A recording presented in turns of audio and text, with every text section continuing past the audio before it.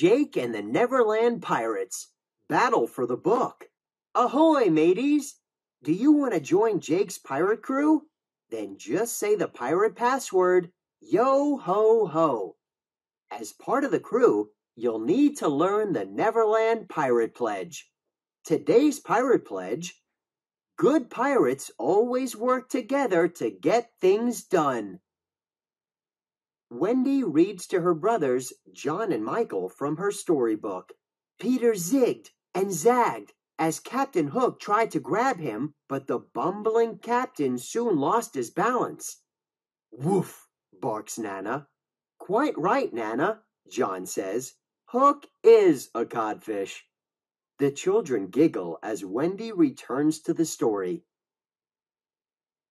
Far away in Neverland, Hook and his men see Wendy through a magic tide pool. They listen to the story too.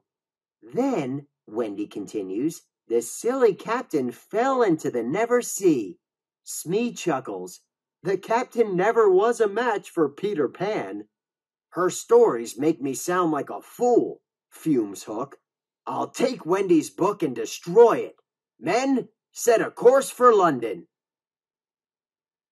The crew sews the ship's sails together, fills them with hot air, and the Jolly Roger floats all the way to London. Just as Wendy finishes her story, Captain Hook jumps into the room. I'll be taking this, he says, grabbing the book. Stop, you wicked pirate, yells Wendy as the boys latch onto the book. But Hook yanks it away and jumps out the window. Wendy has to get the book back. All of her Neverland adventures are in it. But she needs help, so she sings a special song to call Peter Pan. Peter sees Wendy's signal, but he's a little busy. Tinkerbell offers to go to Pirate Island and ask Jake and his crew for help. Great idea, says Peter, handing Tink his hat. Jake and his mates are on the beach when they see something strange headed their way. Peter's hat, cries Jake. To his surprise, Tinkerbell flies out of the hat. Ahoy, Tink, says Jake. Where's the rest of Peter? Out of the hat comes Peter's voice asking Jake to go to London and help Wendy. You can count on us, promises Jake. Tink covers Bucky with pixie dust and the ship takes off. Yo ho! shouts Jake. Let's go to London. Tinkerbell leads the way. Before long, Jake and his crew are soaring through the night sky above the beautiful lights of London. More pirates! John yells when Jake and his crew bound through the window. Stop right there, scurvy bilge rats! We're pirates, says Jake, but we're also friends of Peter Pan. He's busy tangling with a sea beast, Izzy explains, so he sent us to help. Hook stole my storybook, says Wendy. I don't know why. Don't worry, says Jake. We'll get your storybook back. Everyone climbs aboard Bucky to find Hook and the book. Izzy loves the dazzling city lights. London is so magical, just like Neverland, says Wendy. Michael is confused. What's a Neverland? he asks. It's where we met Peter Pan, Wendy reminds him. She's surprised that Michael could have forgotten that. As soon as Jake spots the Jolly Roger, Tinkerbell dusts everybody with pixie dust and they fly to Hook's ship. But when Wendy tells Hook to give back her book, he grabs a rope and swings down to the streets of London. So long, Popinjays, he yells. Cubby, Michael, shouts Jake. Stay aboard the Jolly Roger with Skully. We're going after Hook. Aye, aye, answer the boys. Jake, Wendy, Izzy, and John drop to the city streets with Tink flying alongside. They search the city for Hook. Who are we looking for again? asks John. Captain Hook, Izzy says. He stole Wendy's storybook. Of course, replies John. I guess it slipped my mind. Weird, says Izzy. First Michael forgets about Neverland, and now you forget about Hook. Just then, they see Hook on the wharf. As Jake is about to grab Hook, the Jolly Roger splashes down and throws everybody overboard, right on top of Jake and his friends. What are you ruffians doing?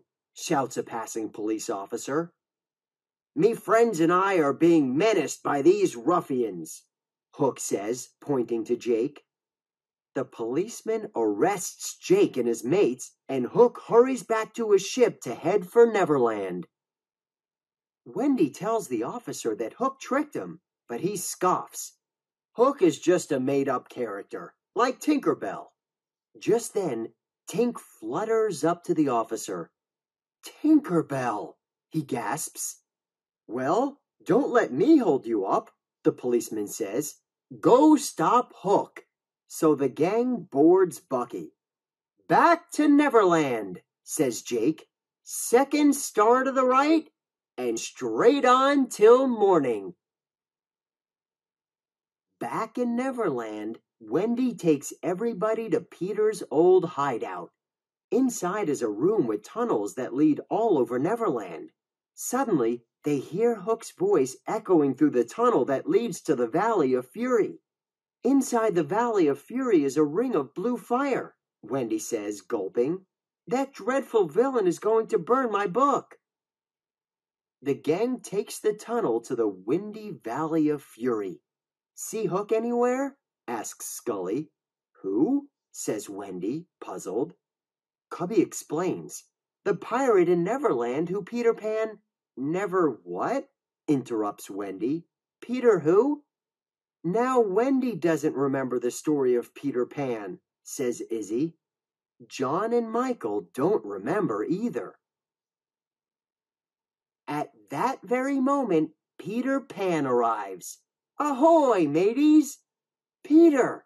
shout Michael and John, instantly remembering him. How could I ever have forgotten you? asks Wendy. I know how, says Jake.